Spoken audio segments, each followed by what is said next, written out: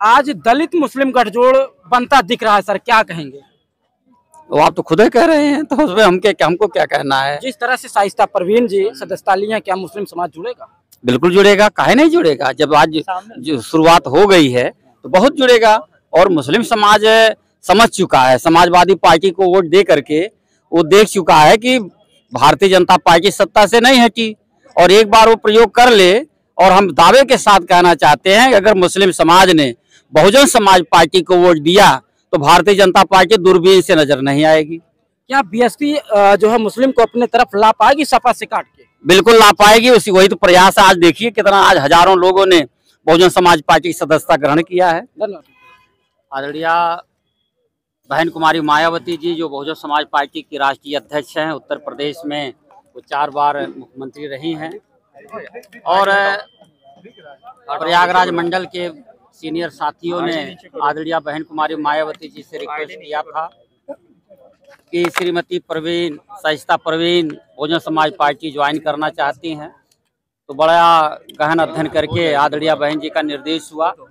और आज प्रयागराज मंडल स्तरीय बहुजन समाज पार्टी के कार्यकर्ता सम्मेलन के अवसर पर श्रीमती साहिस्ता परवीन जी को बहुजन समाज पार्टी की सदस्यता दिलाई गई। क्या मेयर का प्रत्याशी बनाया जाएगा? चुनाव तो अभी सामने दिख नहीं रहा है और जब दिखेगा और हम लोग उनसे बात करेंगे अगर वो कहेंगी कि हमको मेयर का प्रत्याशी बनाया जाए तो इस पे आदरणीय बहन जी से हम लोग निवेदन करेंगे और उस पर विचार किया जाएगा। अच्छा अतीक अहमद की अगर बात करें तो तमाम राजनीतिक दलों ने उनसे किनारा कर लिया समाजवादी पार्टी बात कर रहे पहले उनके परिवार को आपने लिया है तो क्या इस पर क्या कहीं कोई सवाल नहीं उठेगा?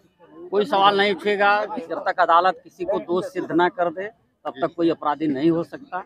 ये तो बाहर ऐसे नारा लगाने से कोई अपराधी नहीं हो जाता। और ये सरकार एक दुर्भावनापूर्ण भावना से ग्रसित होकर के कार्रवाई करती है।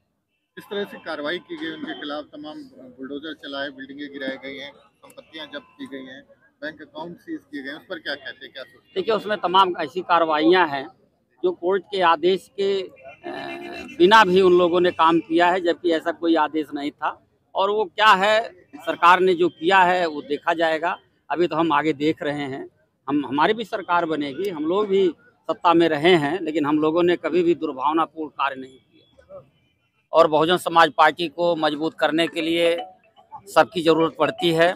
और आज बहुजन समाज पार्टी में तमाम हज़ारों लोग आज बहुजन समाज पार्टी में विभिन्न दलों को छोड़ करके बहुजन समाज पार्टी में सम्मिलित हुए हैं।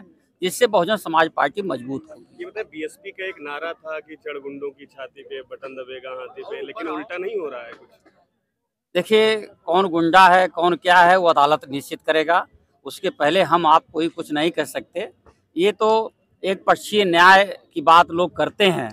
और देखा जाए तो आज जो तमाम ऐसे जात विशेष के लोगों के खिलाफ कार्रवाई हो रही है वो एक तरफा कार्रवाई होती है।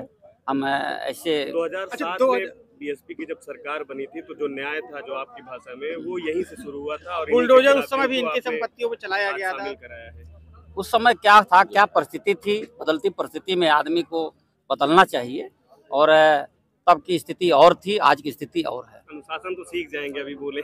तो जब आपने सुन लिया है और कुल मिला करके बहुजन समाज पार्टी सभी का सम्मान करती है सबको साथ लेने लेकर चलने का काम करती है बहुजन समाज पार्टी आने वाले दिनों में बहुत विस्तार करेगी और हम उत्तर प्रदेश में अपनी सरकार बनाएँगे केंद्र में हम बैलेंसिंग पावर में आने का काम करेंगे। अच्छा, इससे क्या मुस्लिम समुदाय बसपा से जुड़ेगा? बिल्कुल जुड़ेगा क्योंकि मुस्लिम समाज हमेशा समाजवादी पार्टी को वोट दिया और इस चक्कर में वोट दिया कि भारतीय जनता पार्टी को हम सत्ता से हटाएँगे लेकिन मुस्लिम समाज का जितना वोट मुस्लिम समाज का समाजवादी पार्टी में जाता है उतना ही वोट अगर बहुजन समाज पार्टी में सम्मिलित हो जाए तो फिफ्टी परसेंट फिफ्टी फिफ्टी की लड़ाई हो जाएगी और बहुजन समाज पार्टी प्रचंड बहुमत से सरकार बनाएगी। अतीक अहमद किस भूमिका में होंगे आगे? अभी तो वो जेल में हैं अब बाहर आए तो उनके बारे में कुछ जानकारी हम बता देंगे आप। एक मिनट और।